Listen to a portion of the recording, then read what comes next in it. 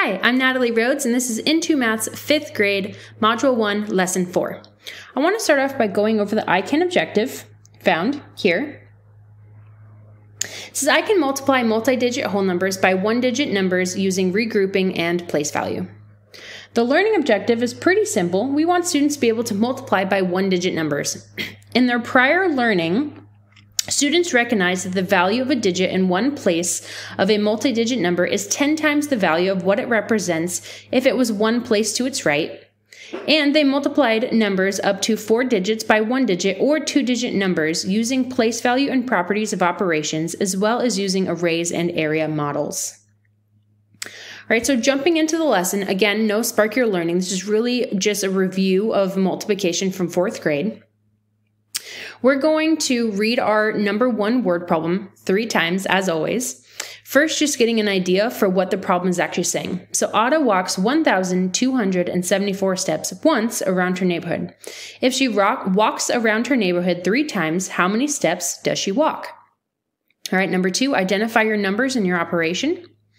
My numbers stick out 1,274 and 3. And she walks the neighborhood three times. Again, from last time, times means multiplication. And they're looking for the total amount of steps. Now, look at A. It says estimate the number of steps Ada walks. Show your work. Okay, so I'm going to estimate. I would do either the thousands place or the hundreds place. I'm going to go ahead and do the hundreds place because I know students know their 12s times tables. So 1,274, I'm going to round to just 1,200, rounding to my hundreds place. So 1,200 being multiplied by 3.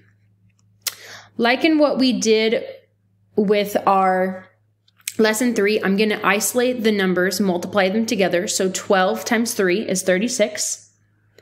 And then my powers of 10, because there's two zeros, hundreds place, is 10 to the second.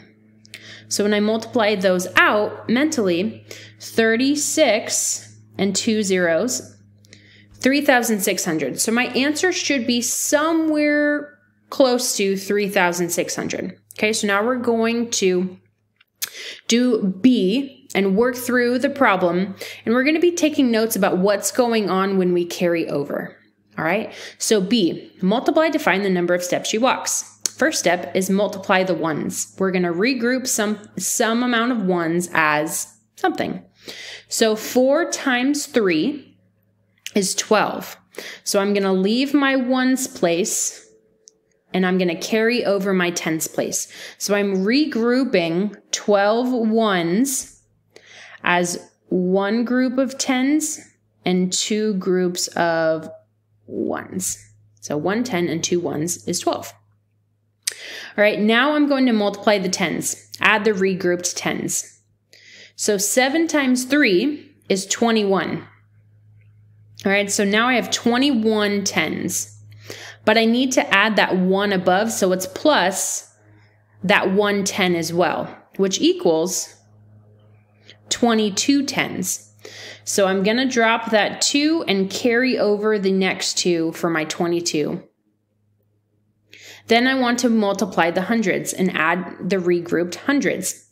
So 3 times 2 is 6 hundreds plus that 2 hundreds, which is going to give me 8 hundreds. So I'm just dropping the 8 and I'm not carrying anything over because the 8 is just 8. There's nothing to carry over. Then multiply the thousands. 3 times 1 is just 3. So Ada walks 3,000 822 steps. How do you know if your answer is reasonable? Well, you can go ahead and write what you think is best.